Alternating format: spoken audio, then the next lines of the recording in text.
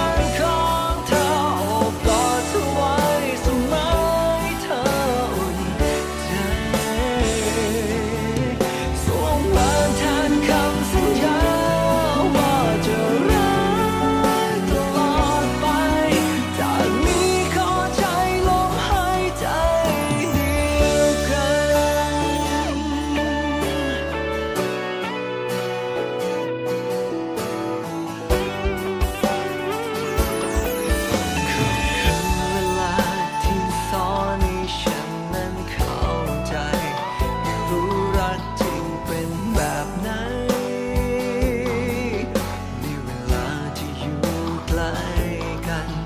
จอดูแลักแท้ที่เราได้หาเจอให้รักของเราอยู่เสมอแม้ต้องเจอปัญหาใดเมื่อนอนตอนเช้า